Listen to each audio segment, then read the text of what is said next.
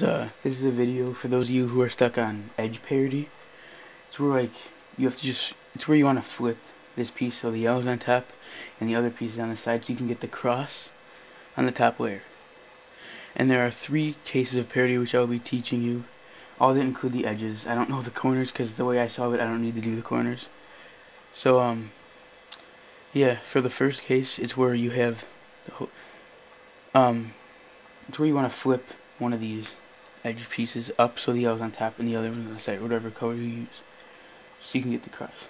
So for this algorithm, or for this case, you want to hold the cube so this is in front of you, and you want to do this algorithm. So you want to do 2r star, 2b, 2u, l star, 2u, r prime star, 2u, R star, 2U, 2F, R star, 2F, 2, no, L prime star, 2B, and then 2R.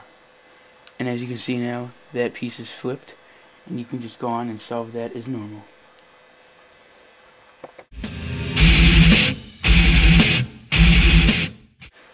The next case in parity, which I'll be teaching you, is when you need to swap this edge piece, yellow and red on the orange and yellow side, with this piece, the orange piece on the red side.